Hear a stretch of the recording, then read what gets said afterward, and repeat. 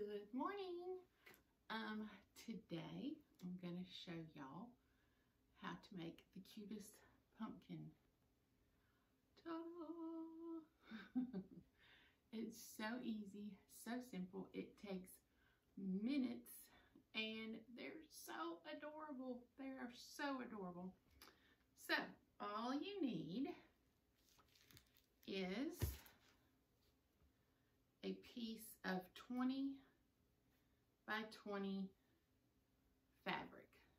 All right, and I actually ordered mine off of Amazon and it came in these cute little packs like this and there's all these cute patterns. They're different, but they all kind of go together. So I didn't have to cut the fabric. It came in 20 by 20 squares. I mean, it was just so convenient. See, these are all black and white, but they're all different. I have stripe, I have polka dot, I have different, oh, and I've got floral. Oh, I just love these. All right, I think I want to do one in black and white polka dot since I've got an orange one.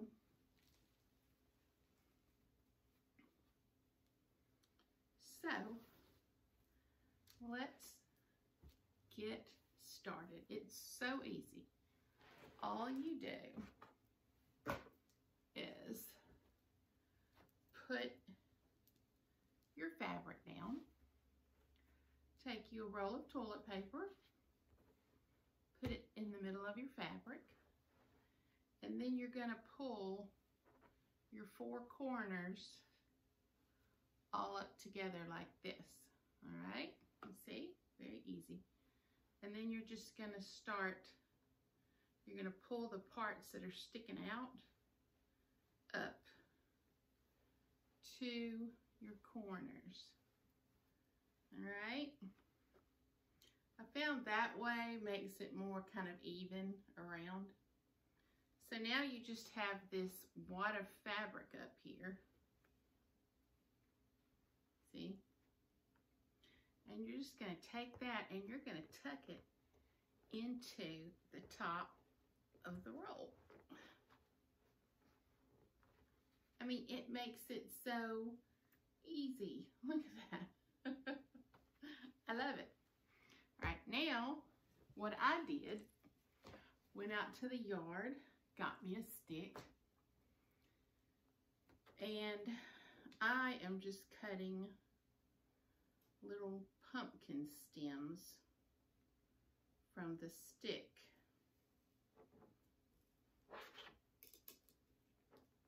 Gotta be strong to do this. There we go. My pumpkin stem. Stick it in the top. I mean, look how cute. Then you can take ribbon, and I wish I had some green ribbon that was like this. A real tiny little ribbon. So it could look like little green vines, you know how pumpkin grows. But I don't, I'm just using what I have.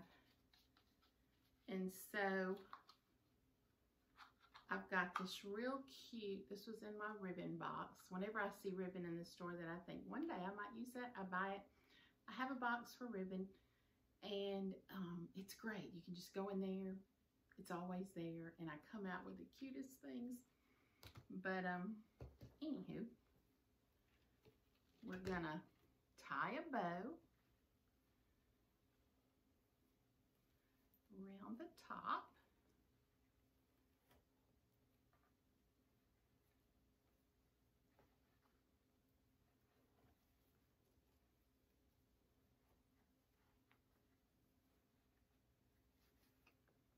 -hmm.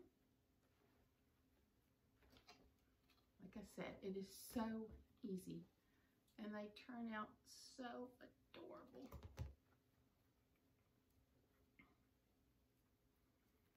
I mean, I have fallen in love with this craft.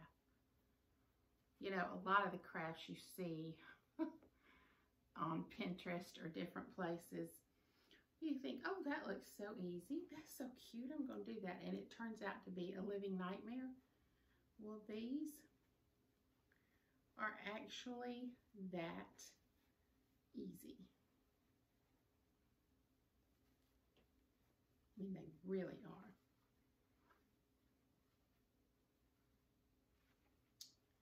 If you can get the bow right. I'm picky about my bows. All right, so there's the big bow on it.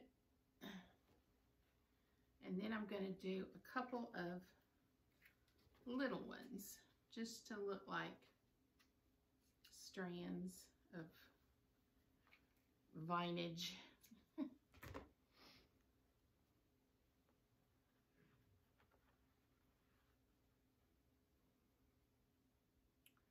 and if you want to get really creative, you can get out your hot glue gun and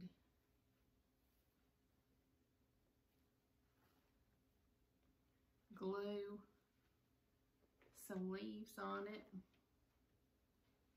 Look how cute that would be. You could do it like that. Let me get it closer so y'all can see.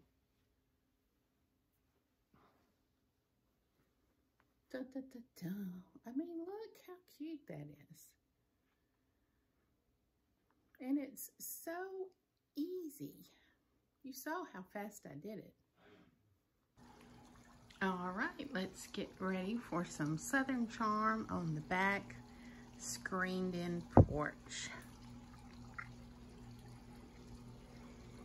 Don't forget your porches when you're decorating. It's so important. If you're like us, you spend a lot of time on them.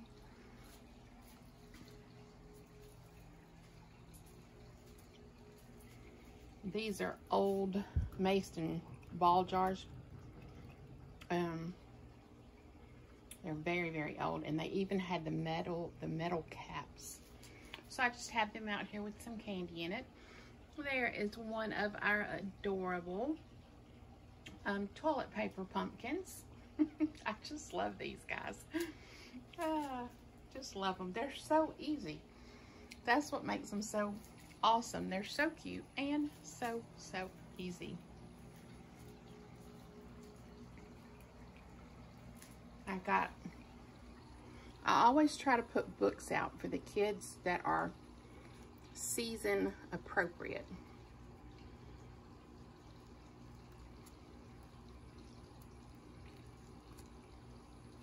So that's what all these are.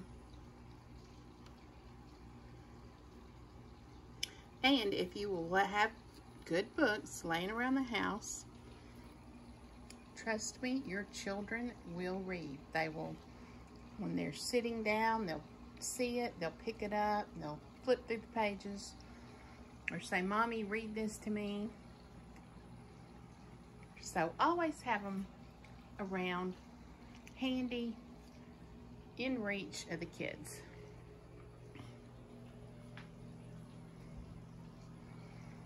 And puzzles. This brand is one of our favorite puzzles. He does, he does, um, I say he, I don't know if it's a he or a she, but they do seasonal puzzles. And they are so adorable. And they come in harder, you know, more than a hundred. They come in um, harder puzzles, easier puzzles. But they're just really cute. And um, I'm sure you can get them online. I found most of mine actually at Costco. Um, here is one that is that we did, me and one of the kids. And the 100 piece for like a five and a seven year old is perfect because they're actually doable for them but they're a little challenging, but not too much. So anyway, we just love those. We love that brand. have a little banana nut bread and coffee in the mornings out on the patio.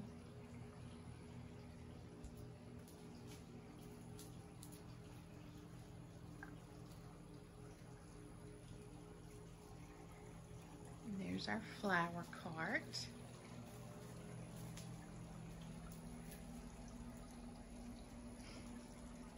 And I love mums, and these are actually the smaller mums. So they don't cost you an arm and a leg, but they're still really pretty. Really cute. Let's see if I can put that out further so you can see it better. Yeah, those only cost like four dollars and something a piece. Um, and when you buy your mums, don't buy them like that. They're too bloomed out. You want to buy them like this so they will bloom at your house and they will bloom for a longer amount of time.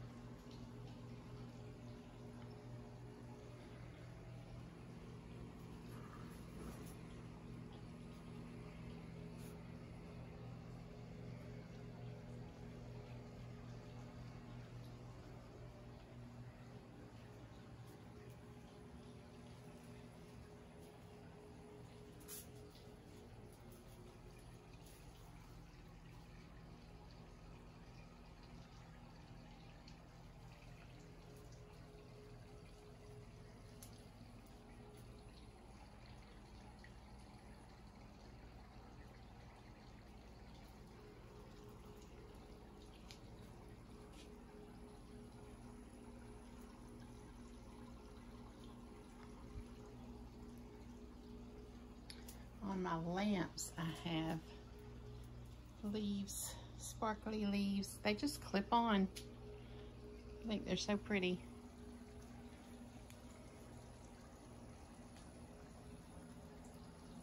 And it looks real pretty all lit up at night.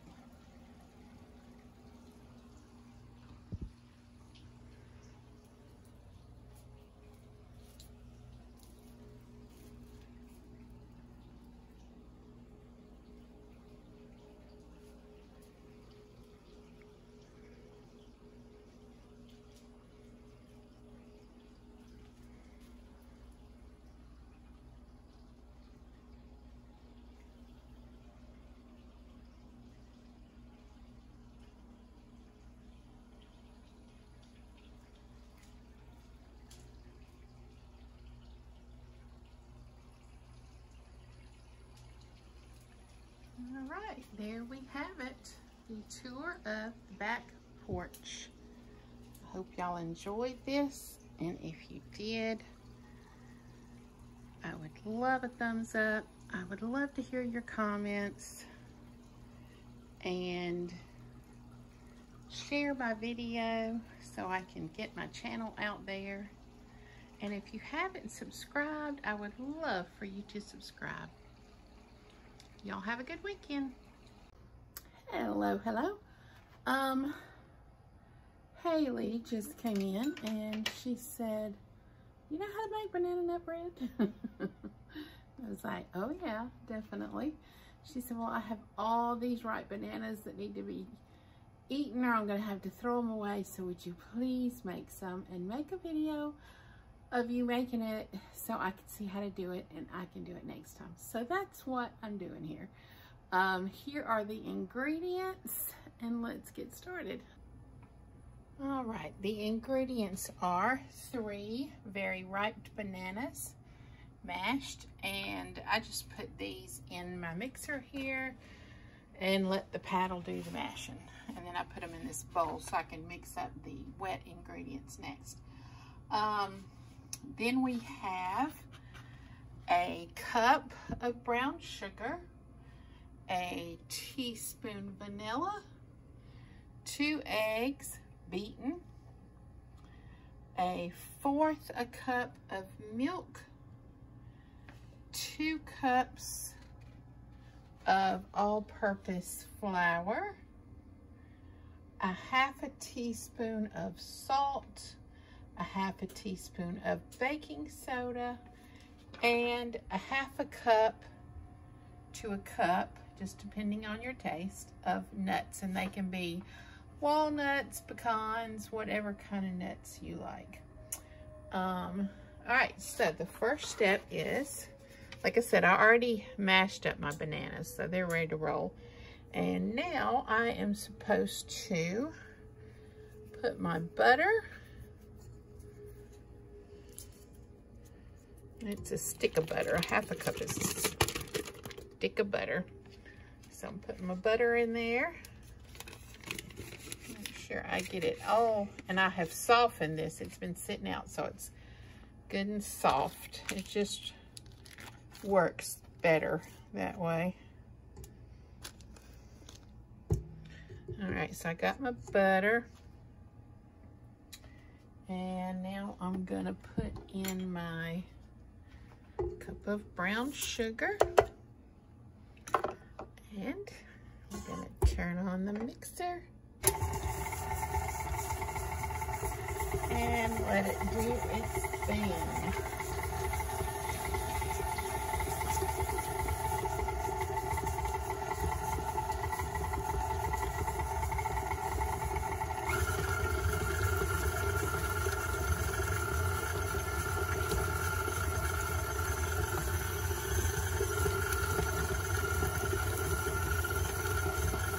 teaspoon of vanilla.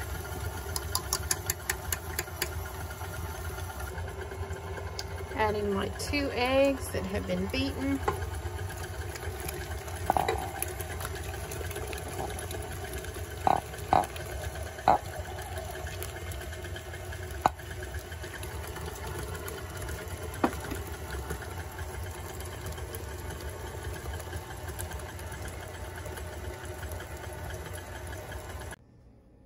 um, I put the baking soda and the salt in my measuring cup with my flour. And I'm just to mix them together. That way you don't have to mess up a separate bowl. You know, I'm all about less dishes to wash, the better. So do that. And then we are going to start alternating the flour the bananas and the milk um, into our wet mixture until it's all stirred up together. All right, here we go.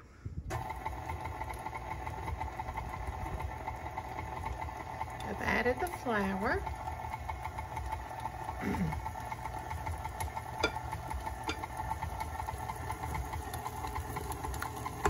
add a few of the bananas.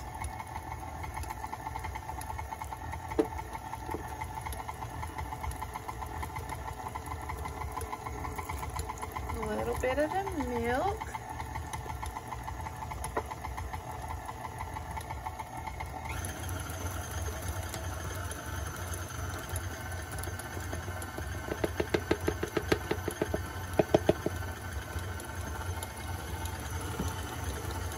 A little more flour.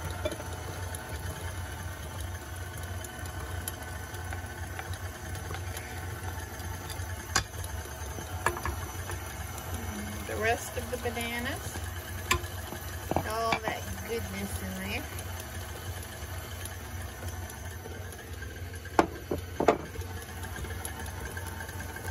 The rest of the flour.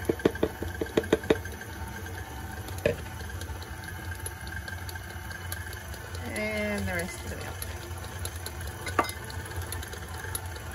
There we go.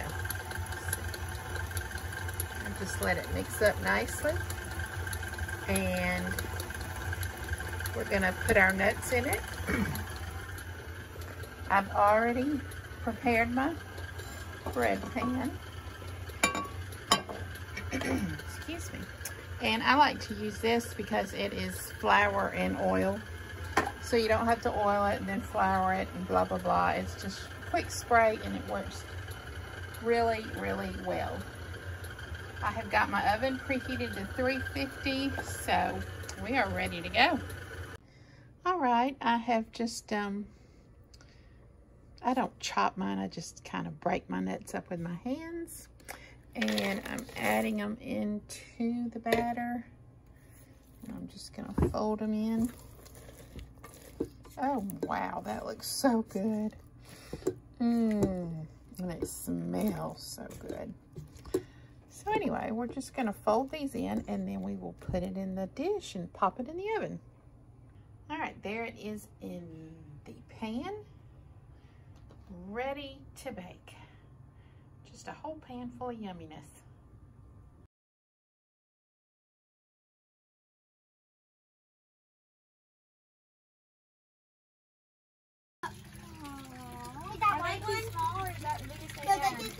they get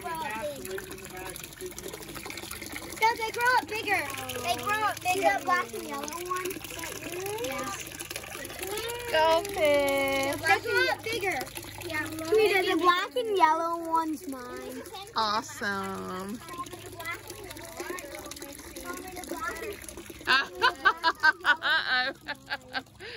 bum, bum, bum.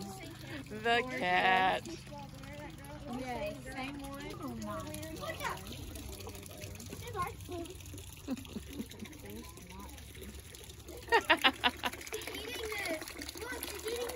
Same one. well, of course. See the little tiny fish?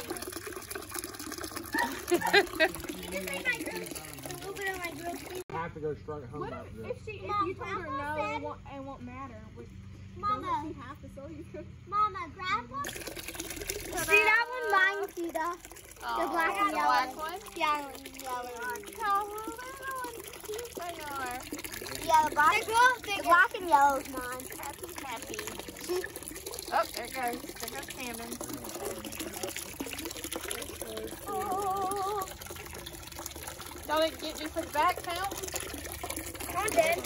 No, that was so, that pump's the deal. Guys, Remember it killed Well, that's a, well, no, it doesn't kill most tadpoles, though. Well, that's probably something wrong with the great big one. He's probably already dead, because all those tadpoles in that pond